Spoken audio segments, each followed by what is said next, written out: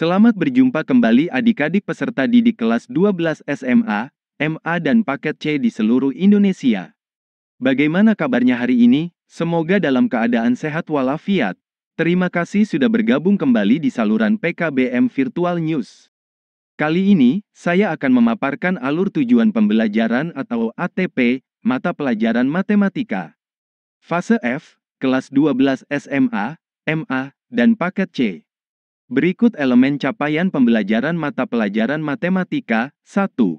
Geometri. Capaian pembelajaran, di akhir fase F, peserta didik dapat menerapkan teorema tentang lingkaran, dan menentukan panjang busur dan luas juring lingkaran untuk menyelesaikan masalah, termasuk menentukan lokasi posisi pada permukaan bumi dan jarak antara dua tempat di bumi.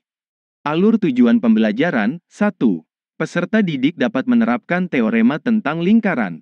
2. Peserta didik dapat menentukan panjang busur dan luas juring lingkaran untuk menyelesaikan masalah. 3. Peserta didik dapat menentukan lokasi posisi pada permukaan bumi dan jarak antara dua tempat di bumi, globe.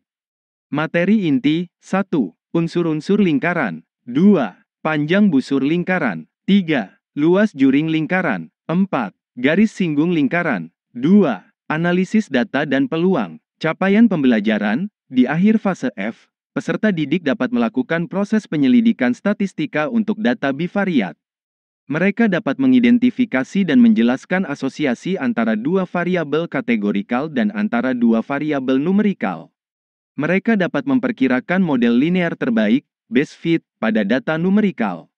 Mereka dapat membedakan hubungan asosiasi dan sebab akibat. Peserta didik memahami konsep peluang bersyarat dan kejadian yang saling bebas menggunakan konsep permutasi dan kombinasi. Alur tujuan pembelajaran 1. Peserta didik dapat melakukan proses penyelidikan statistika untuk data bivariat. 2.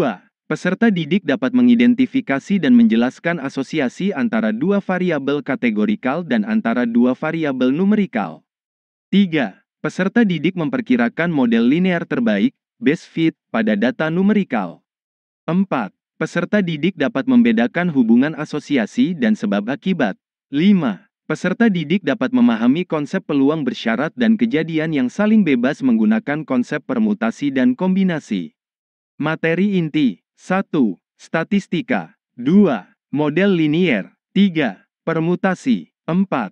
Kombinasi 5. Peluang Demikian saya sampaikan alur tujuan pembelajaran mata pelajaran matematika. Fase F, kelas 12 SMA, MA, dan paket C. Saya mengucapkan terima kasih telah menyaksikan dan sampai jumpa di pembelajaran selanjutnya.